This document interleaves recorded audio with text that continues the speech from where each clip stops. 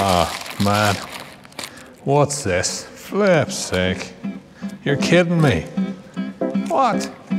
Oh man, one of my pet peeves about Christmas is people who put the wrappers back in the box.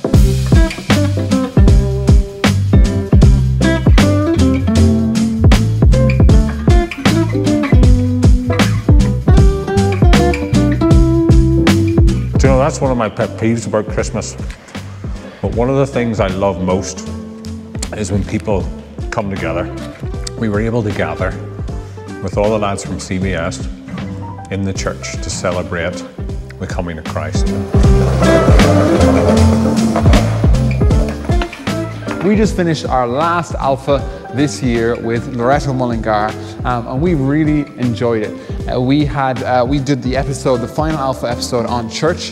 One of the girls said Alpha is community, um, and this is really encouraging for me um, because we get to see that actually the you know the young people are looking for community, getting to sit in circles, drink tea, hot chocolate, all that stuff. Was, it's so much fun for them. So today was our last Alpha. We started with hot chocolate instead of tea.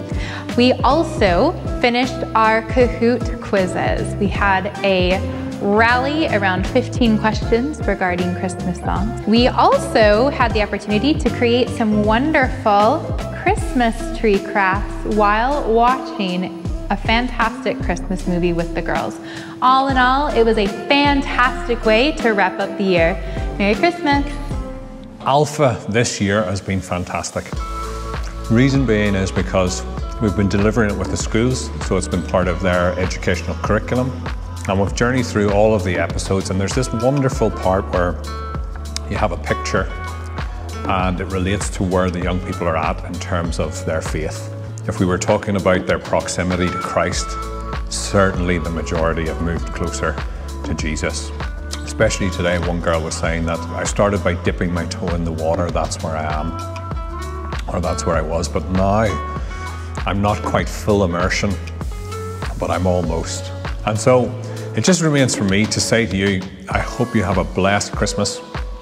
I know it's going to be different, um, but I know that the presence of God will be in every aspect of it as you gather with your family. So we wish you a very blessed Christmas and a happy new year for 2021. So I want to wish you a massive happy Christmas from me. I'm really excited um, for 2021 and a happy new year to you all.